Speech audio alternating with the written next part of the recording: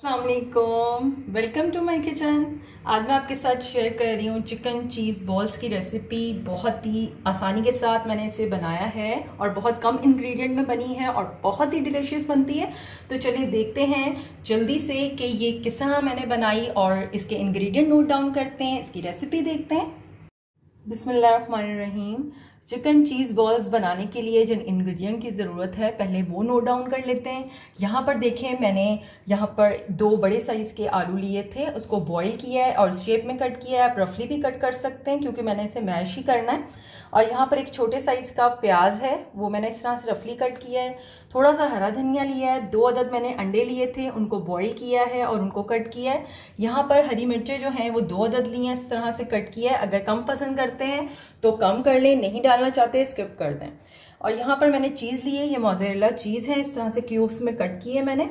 और यहाँ पर मैंने चिकन लिया था, एक ब्रेस्ट पीस लिया और उसको यहाँ पर बॉईल करके रेशा कर लिया मैंने। अब चलते हैं इसकी मिक्सिंग की तरफ़ और बाकी मसालों की तरफ़। चीज़ जो है वो मैंने यहाँ पर निकाल ली है और बाकी जितना भी मटेरियल है वो एक बॉल में शिफ्ट कर रही हूँ मैं।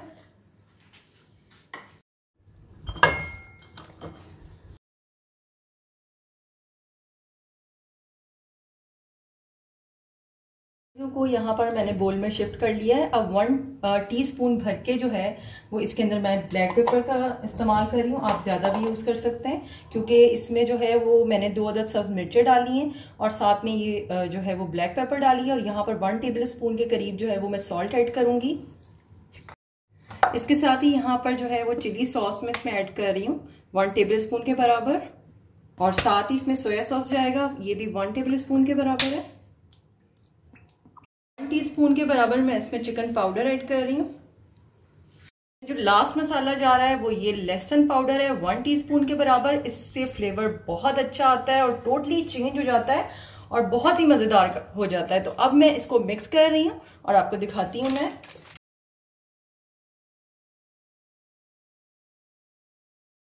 पर मैंने सारे मटेरियल को जो है वो अच्छी तरीके से मिक्स कर लिया है और अब चलते हैं, इसके बॉल्स बनाते हैं। अब मैं करूँगी यहाँ पर थोड़ा सा बैटर उठाऊँगी हाथ में।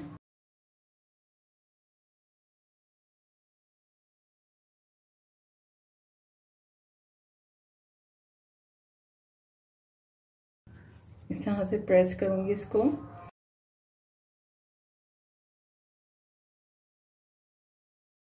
और इस पर एक क्यूब रखूँगी मैं, यहाँ पर चीज़ का, और इसको कवर करूँगी मैं इस तरह से। बेजवी शक्ल में?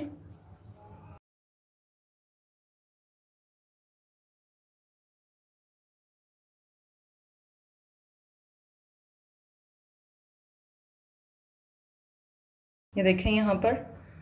इस अंदाज में जो है, वो बेजवी शक्ल में जो है वो मैंने चीज़ बॉल सारे तैयार करने हैं। मैं करती हूँ और आपको दिखाती हूँ।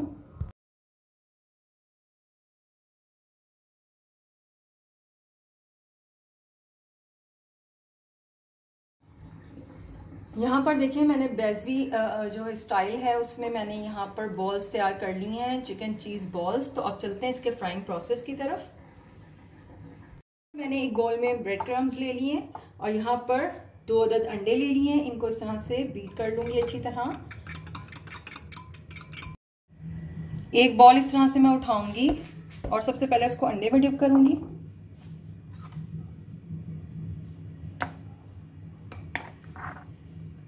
अंडे में जो है, कोट करने के बाद इसको इस तरह से ब्रेड क्रम्स में कोट करूँगी मैं।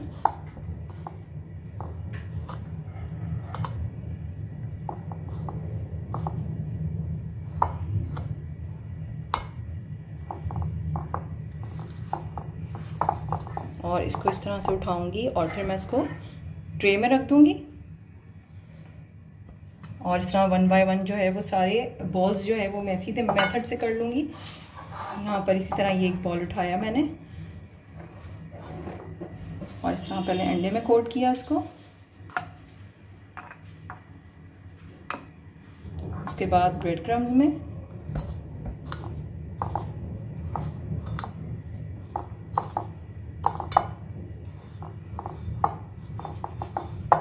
और इसी तरह से उठाऊँगी इसको भी और इसको भी ट्रे में रख दूँगी मैं। और सारे में करती हूँ इस तरह और आपको दिखाती हूँ।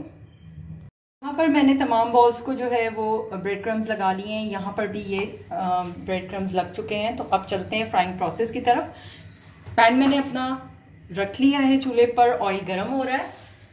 और मैं वन बाय वन करके इसमें डालना शुरू करती हूँ। बिस्मिल्लाह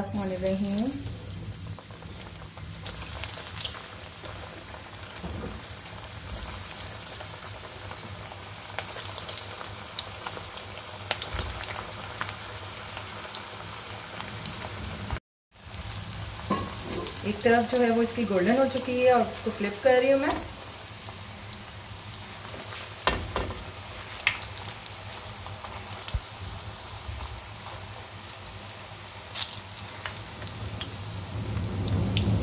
सारी चीज़ें जो हैं वो अंदर बॉयल हैं कुक हैं तो बस अब इसको सिर्फ़ कलर देना है हमने और साथ निकालते जाना है ताकि इसका कलर जो है वो गोल्डन ही रहे। यहाँ देखिए ये फ्राई हो चुके हैं अच्छी तरह। अब मैं इसको निकाल रही हूँ और दूसरे इसमें ऐड कर रही हूँ। मज़ीद इसमें ऐड कर रही हूँ मैं। साइज़ जो है वो आप अपनी मर्ज़ी से कर सकते हैं, गोल भी बना सकते हैं बेजवी भी बना सकते हैं, छोटे, बड़े जैसा आप चाहें बना सकते हैं। लेकिन ये एक स्टैंडर्ड साइज़ है तो मैंने यही शेप रखी है, यही साइज़ रखा है। और बहुत ही ज़बरदस्त खुशबू आ रही है, बहुत मज़ेदार बने। तो आप इस रेसिपी को ज़रूर फॉलो कीजिएगा, ज़रूर बना के देखिएगा। यहाँ पर देखिए, ये दूसरे जो बॉल्स हैं, ये मैंने डाले थे, ये भी माशाल्लाह जो है वो रेडी हैं। इनका कलर चेक करें। बहुत ही ज़बरदस्त है, माशाल्लाह। तो इसको डिश आउट करते हैं, आपको दिखाते हैं। पर देखें मैंने बॉल्स को चीज़ बॉल्स को डिश आउट कर लिया है और माशाल्लाह बहुत ज़बरदस्त बने। तो आप इस रेसिपी को ज़रूर ट्राई कीजिएगा। रमज़ान मुबारक के महीने में बनाकर इसको इंजॉय कीजिएगा। अपने दस्तरखान को सजाइएगा इससे। तो अगर आपको ये रेसिपी अच्छी लगी तो इसको लाइक करें, मेरे चैनल को सब्सक्राइब करें शेयर करें फ्रेंड एंड फैमिली के साथ। इनशाला जल्द इस तरह की अच्छी वीडियोज़ के साथ आऊँगी, अच्छी रेसिपीज़ के साथ आऊँगी। टिल देन टेक केयर अल्लाह हाफिज़।